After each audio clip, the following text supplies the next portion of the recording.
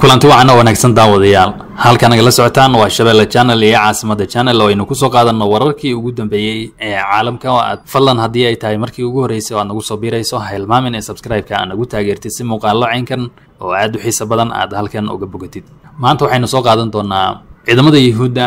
oo duqaymo iyo weeraro ka wado qaybo badan oo ka mid ah marinka khaza ee falastiin gaar ahaan bartamaha marinka khaza oo tallaalka cudurka dabaysha ama bolioga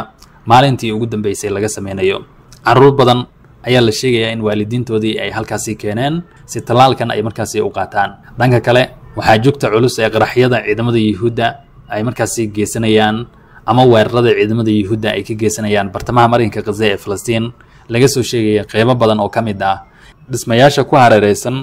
goobaha tallaalka cudurka dabeysha markaasi laga bixinayo. Ciidamada yuhuudda duqaymo iyo weeraro xoog leh oo xitaa qaar ay u adeegsadeen gantaalada artilleriga waxa ay ka geysteen saacadihii aynu soo dhaafnay waqooyiga marinka khaza ee falastiin iyo bartamaha marinka khaza ee falastiin saacadihii u dambeeyey sidoo kale weeraro xoog leh ayay ciidamada yuhuudda ka geysteen. Xerada qaxootiga ee nuseyraad ee bartamaha marinka khaza ee falastiin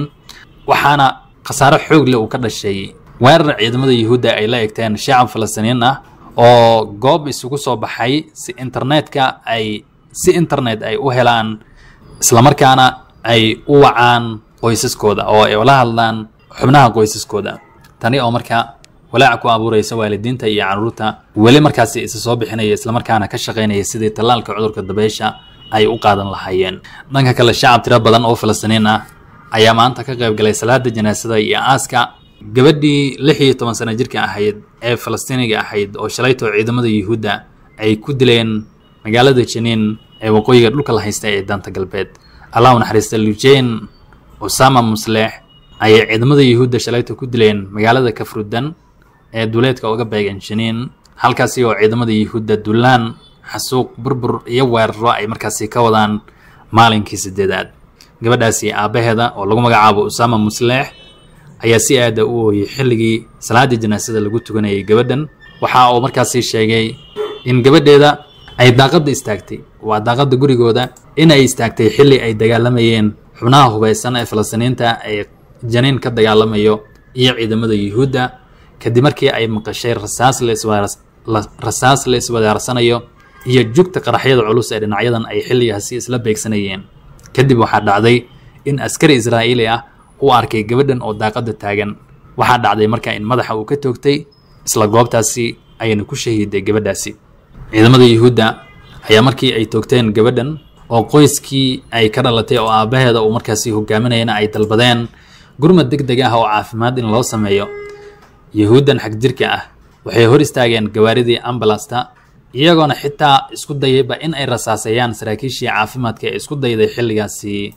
in ay gurmad caafimaad ay u sameeyaan gabadhaasi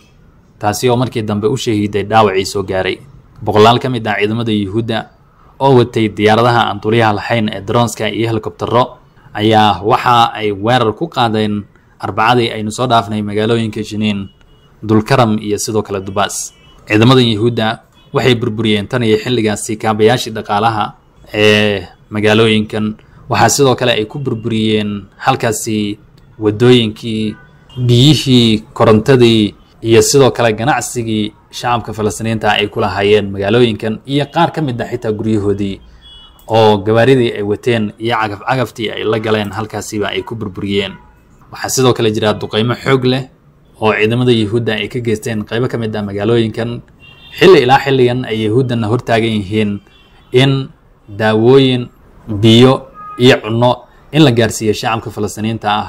Magaalada jiniin ee dulkaram iyo qaybo badan oo ka a dhulka la haysta ee daanta galbeed markaasi ku dhibaataysan. Dhanka kale ra'iisul wasaaraha dalkaasi u k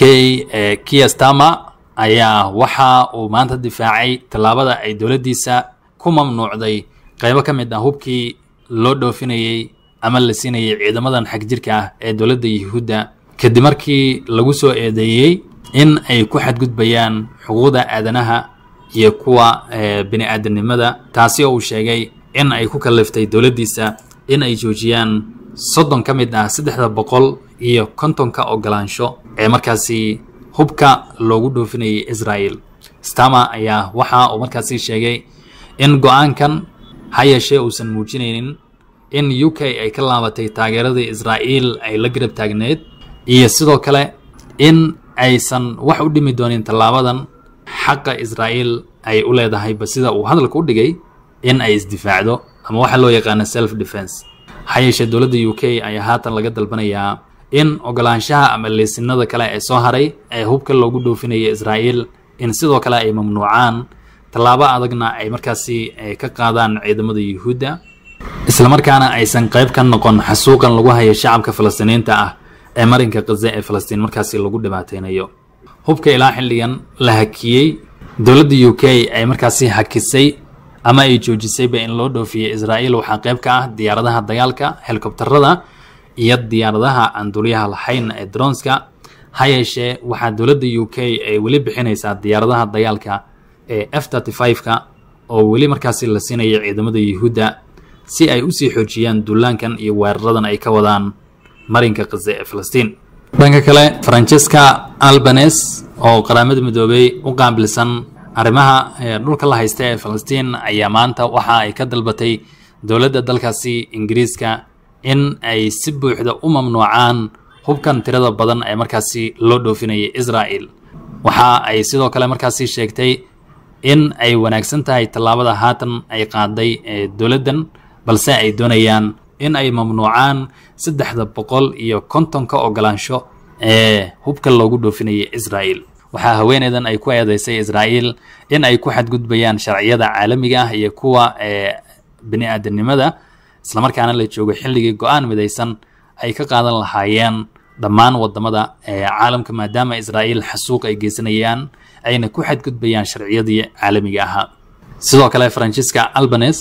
waxa ay ka dalbatay u k iyo waddamada kale ee reer galbeedka in aysan qayb ka noqon xadgudubkan israa'iil ay u geysanayaan shacabka falastiiniinta iyo dembiyadan dagaal oo ay ka geysanayaan khaza islamarkaana loo baahan yahay in la tixgeliyo go'aanadii ka soo baxay maxkamadda caalamiga ah ee cadaaladda ee i c j da ee ahaa in israa'el xasuuq ay ka geysanayaan marinka khaza ee falastiin. Islamarkaana loo baahan yahay in waddamada caalamka aysan qayb ka noqon xasuuqan oo wax xub ah aysan markaasi siinin ama ka iibinin israa'el bishii janaayo ee sanadkan aynu ku guda jirna ay ahayd markii maxkamadda i c j da ay amar ku bixisay in israa'iil tallaabo adag laga qaado maadaama xasuuq iyo dembiyo dagaal ay ka geysanayaan marinka khaza ee falastiin. Ha yeeshee wadamadii reer galbeedka oo maraykanka ingiriiska faransiiska iyo jarmalka ay ugu horeeyaan oo xasuuqanba qayb ka ah waxay weli bixinayaan hubkan maanta lagu gumaadayo shacabka falastiiniinta ah hubkan maanta lagu baabi'inaya carruurta dumarka iyo dadka waayeelka ah ee ku nool marinka khaza ee falastiin iyo guud ahaanba dhulka la haysta ee falastiin iyadoona yuhuudda ilaa xilligan wax guul ah aysan ka haynin weerarkii ay ku qaadeen marinka khaza ee falastiin toddobadii oktoobar ee sannadkii aynu soo dhaafnay.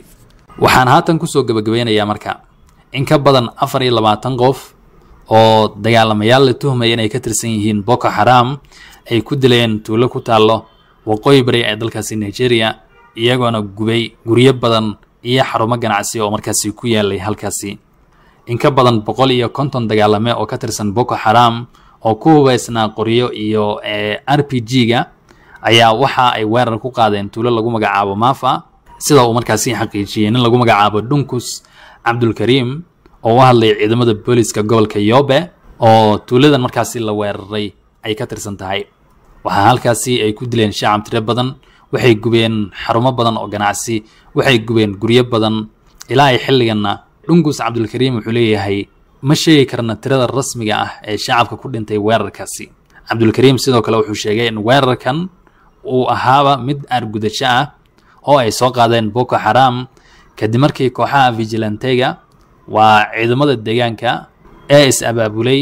ay ka takhalluseen islamarkaana ay carrada cunsiiyeen laba dagaalame oo markaasi ka tirsan ururka boko xaram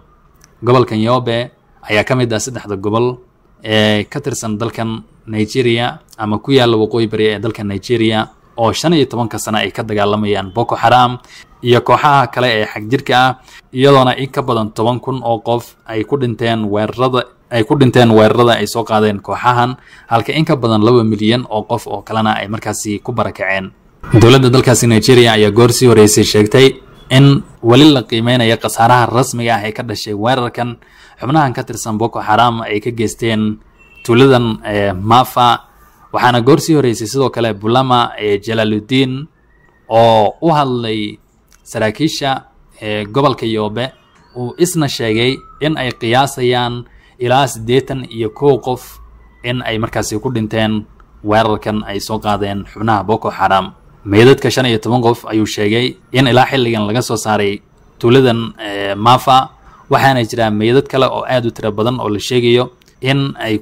laga soo saarayo gudaha tuuladan. Dad badan ayaa jira oo maqan oo aan la ogeyn halkay ku dambeeyeen waxaana la tuhmayaa in boko xaramtan ay markaasi afduubteen. Sarkaal sare oo u hadlay ciidamada militariga dalka nigeria oo ku sugan gobolka yoobe isna waxa uu markaasi sheegay in tuuladan xitaa ay dagaalamayaashan boko xaram markii ay ka baxayeen in ay ku xirxireen walxaha qarxa ama